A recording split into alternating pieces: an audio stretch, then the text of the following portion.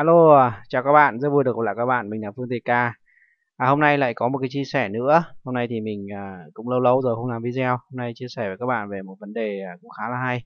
Chúng ta làm kết rất là nhiều rồi nhưng mà nhiều nhiều bạn là không sử dụng cái bảng này. Các bạn à, thấy ở bên này mình có một cái bảng mình gọi là bảng property thì thông thường mình cứ gọi nó là bảng Ctrl 1 vì là cái lệnh tắt nó sẽ tạo thằng này. À sẽ mở cái thằng này lên. Thì bình thường thì các bạn không có cái bảng này bên cạnh như đâu mà cái giao diện nếu các bạn dùng giao diện classic thì nó sẽ kiểu như này. Thế thì bây giờ muốn mở cái bảng này lên thì các bạn có thể bấm uh, Ctrl 1 nó hiện lên. Thì bình thường nó hiện thì nó sẽ ở một cái góc góc nào đó. Thì các bạn muốn đưa cái thằng bảng này vào thì các bạn đưa vào đây. Đấy. giờ chúng ta thu nó lại để chúng ta có không gian vẽ. Thì hôm nay mình sẽ chia sẻ về một số công dụng của cái bảng này. Mình thấy nó khá là hay và nó khá hữu ích cho các bạn nếu các bạn làm các cái phần bản vẽ hiệu chỉnh thống kê rất là nhiều thứ ở trong này. Ok, cái đầu tiên cái đầu tiên thì mình muốn chia sẻ à, rất nhiều bạn hỏi là bây giờ muốn đo diện tích đúng không? Muốn xem diện tích bằng cái bảng này thì nó như thế nào? Thì nó rất là dễ thôi. Mình lấy một cái ví dụ đơn giản để mình có một cái phần à, mặt bằng như này. Thì bây giờ mình muốn đo diện tích mặt bằng toàn bộ cái phòng khách và hành lang. Đây thì chúng ta có sảnh chính, phòng bếp, phòng ăn này thì mình muốn đo toàn bộ cái phần nền của thằng thằng phòng này. Đấy nha, mình sẽ tắt bớt một số cái để để các bạn có thể tiện theo dõi. Tắt đi đấy, như thế này. Thì bây giờ mình muốn đo diện tích toàn bộ thằng này thì làm như nào? Tất nhiên là chúng ta có một cái lệnh có thể đo diện tích được, nhưng mà nhớ đâu sau này chúng ta muốn xem lại ờ, để chúng ta check chính xác thì ờ, vấn đề đấy bắt đầu lại phải đi đo lại, đúng không? Phải đi đánh lại cái lệnh đo diện tích đấy, xong lại phải đi đo lại rất là mất thời gian. Thế thì các bạn có một cái cách rất là hay, các bạn có thể sử dụng một cái payline này, mình đánh pl sau đó các bạn bo các cái vùng, bo lại các cái vùng mà các bạn cần đo diện tích ở đây mình sẽ thử vẽ phủ bì nhá. Phủ bì toàn bộ cái cái phòng này. Mình sẽ vẽ phủ bì toàn bộ cái phòng này, xem nó ra làm sao. Đây, thì chúng ta có thể vẽ chính xác luôn. Cái vùng nào mà các bạn cần đo diện tích thì các bạn vẽ vào. Đây. Sau đó chúng ta có thể sử dụng cái bảng kia. Chúng ta xem được thuộc tính đối tượng. Xong rồi chúng ta có thể xác định được diện tích của nó, rất là hay. Đây, một vùng kín như thế này. Mình có một cái vùng kín như này. Thế bây giờ để xem diện tích của cả một cái vùng này thì các bạn có thể sử dụng cái bảng property này.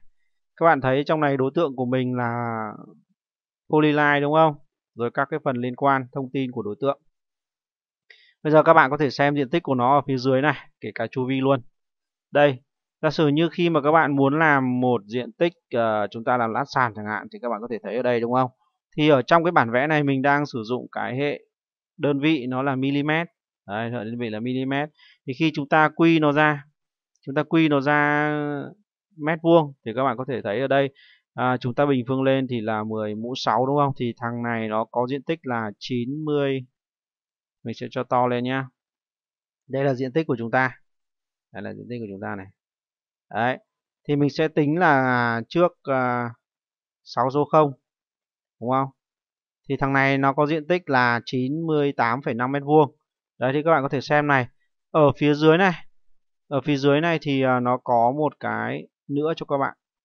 Đây ở phía dưới này thì nó có một cái nữa cho các bạn là cái phần chu vi. Chúng ta có cái phần chu vi ở đây.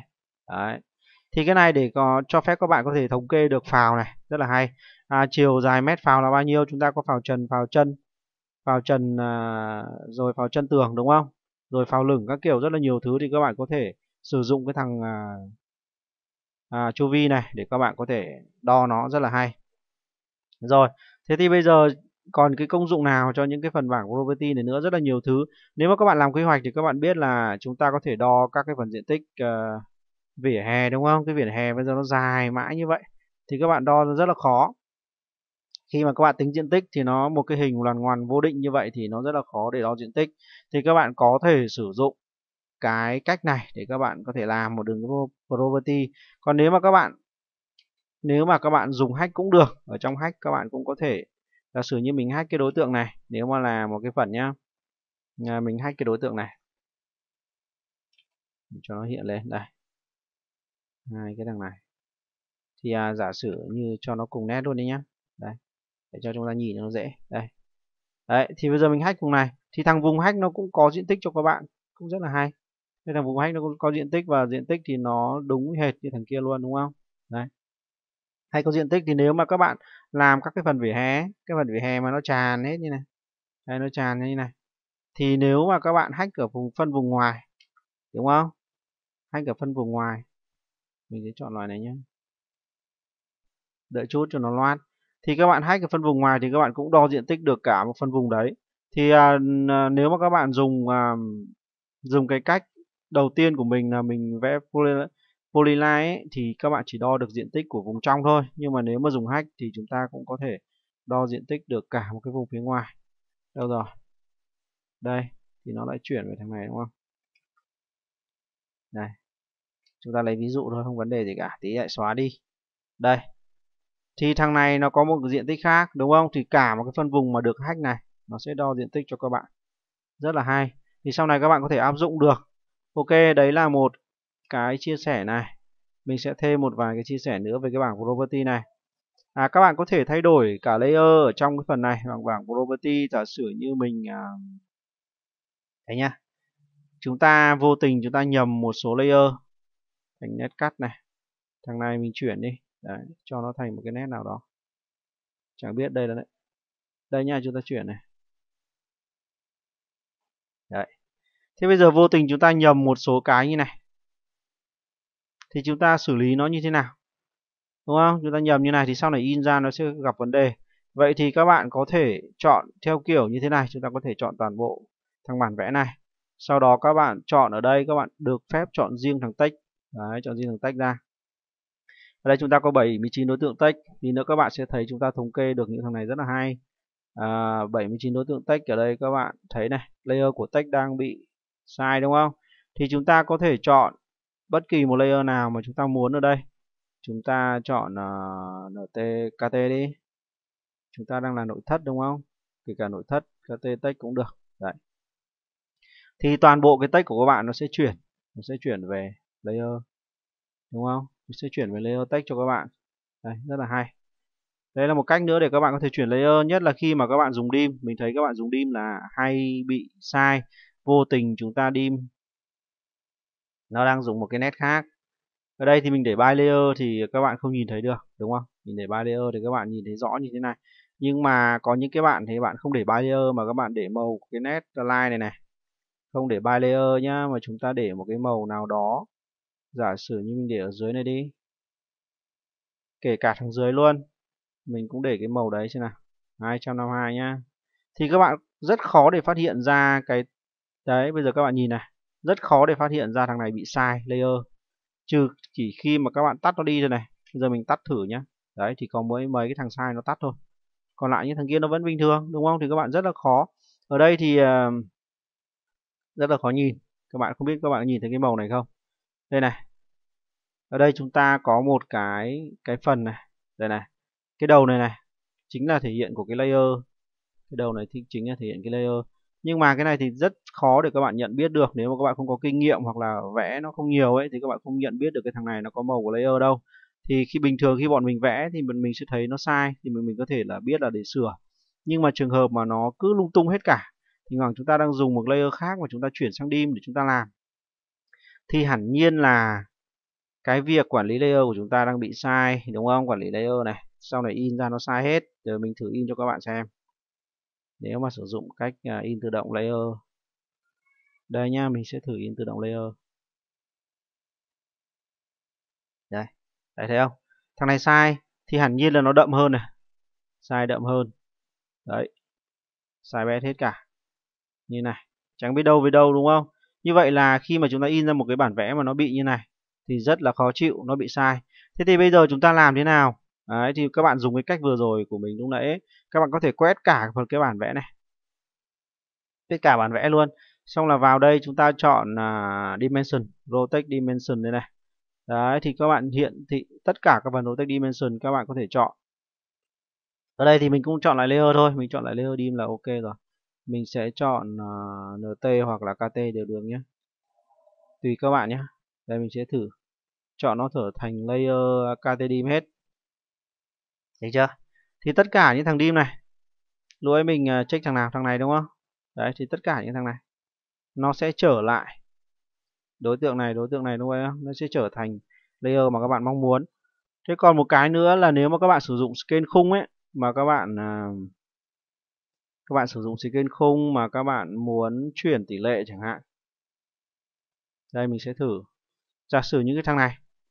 Thằng này thì mình đang sử dụng tỷ lệ nó đang là 110 110 thì bây giờ nhớ may mình ờ, bị chật đúng không?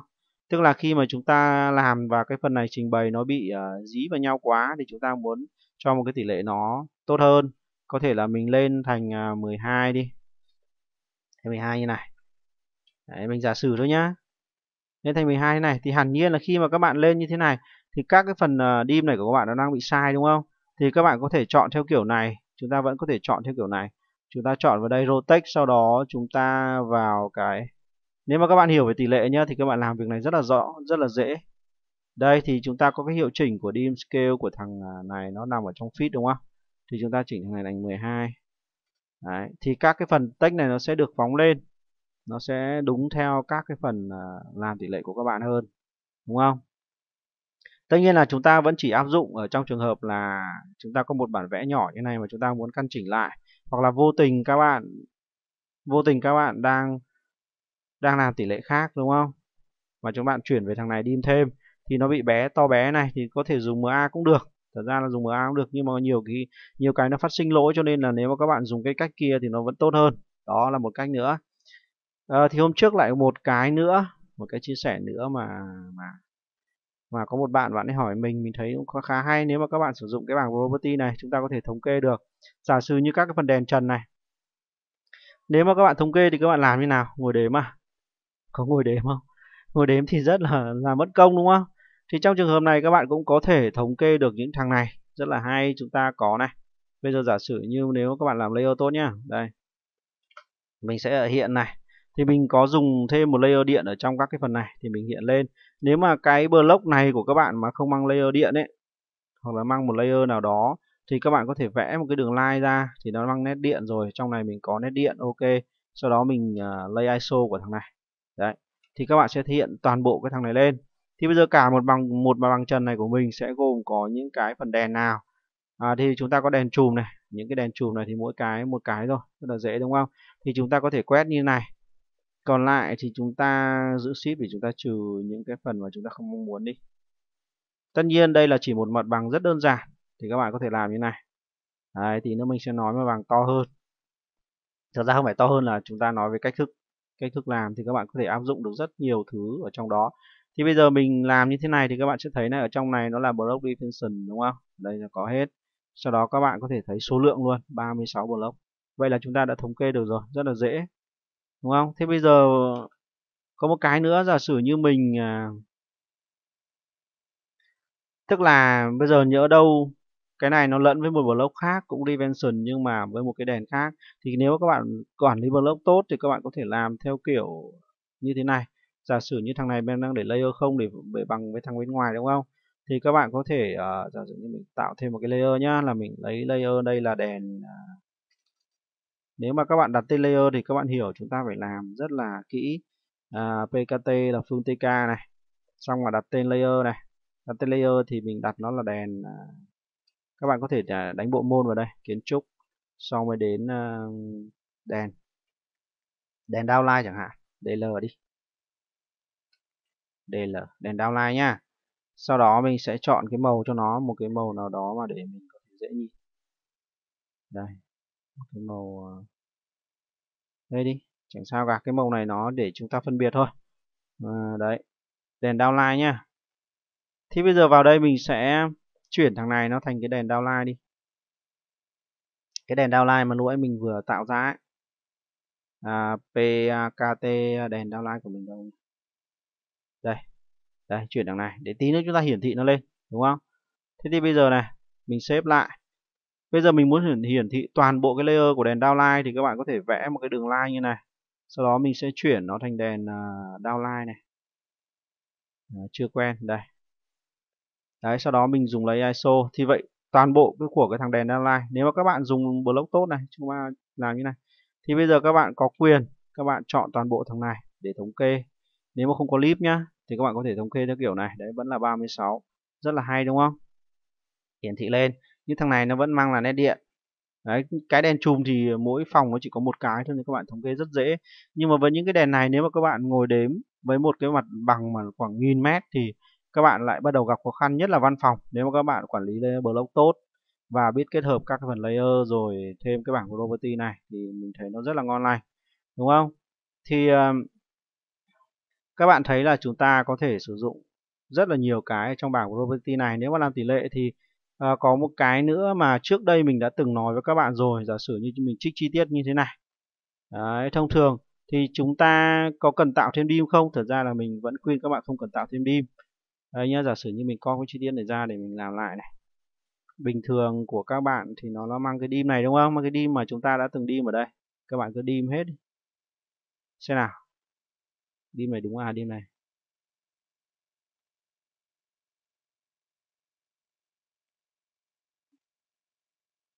Có sai không? Đấy thì thằng này ở đây của mình đang sai đúng không? Thằng này đang sai này đây 80 80 trên này là bao nhiêu? Trên này nó chỉ là 40 thôi. Chỉ là chỉ là 40 thôi. Vậy thì chỗ này sai rồi rồi mình làm luôn chỗ này cho các bạn. Rất là hay. À đây. Thế thế thằng này. Thế thằng này thì mình bây giờ mình sửa thế nào? Chứ bây giờ nó đang sai tỷ lệ đúng không? Cái này phần 1 uh, 40 80 tức là mình đang scale lên hai lần. Vậy thì các bạn có thể chọn như thế này chọn toàn bộ thằng này mình chọn text uh, chọn uh, dim chứ. Chọn dim xong thì ở đây mình sẽ vào primary unit chúng ta chỉnh một cái thông số để các bạn. Nếu các bạn đã từng học các video hoặc học của mình thì những thằng này các bạn sẽ, sẽ nhớ đó dim linear ở đây mình scale lên hai lần mình đánh 1 phần 2 Đấy. thì những cái thằng dim này nó sẽ tự nhảy về đúng tỷ lệ cho các bạn. Rất là hay. Đây. Thằng này 40 đúng không? Thằng này 40 ok rồi. Đấy thì đây là mình à, trích chi tiết ra để làm rõ hơn thì các bạn có thể thấy ở đây. Đấy, thì mỗi lần các bạn nếu mà các bạn tạo một đi mới thì các bạn sẽ thấy nó rất là nhiều đi mà nó dài càng ngày càng dài càng dọc xuống đây. Càng nhiều tỷ lệ thì càng dài. Vậy thì rất là khó khăn nếu mà các bạn là dùng trên model ấy các bạn làm một cái bản vẽ như này thì nó rất là khó khăn. Đấy thì các bạn có thể sử dụng cái cách của mình. Vừa rồi cách của mình để các bạn có thể làm. Ở đây mình cũng tăng lên à, cái này tăng lên tận 4 lần. Đấy. ok đấy là một số cái chia sẻ mà mình có thể um, chia sẻ lại với các bạn để các bạn có thể áp dụng. À, có thể các bạn áp dụng vào công việc của các bạn. Một cái à, cái phần bảng property này rất là hay còn nhiều rất là nhiều thứ ở trong này để các bạn có thể áp dụng được. Chúng ta có tọa độ rồi chúng ta có đủ thứ để chúng ta xem thông tin của đối tượng. Không tất nhiên là nếu các bạn muốn xem thông tin của đối tượng thì các bạn chọn vào nó và các bạn xem. Ở đây có rất là nhiều thứ. Ok cảm ơn các bạn đã theo dõi video. Hy vọng đây là một cái phần video à, hữu ích nữa cho các bạn. Cảm ơn các bạn.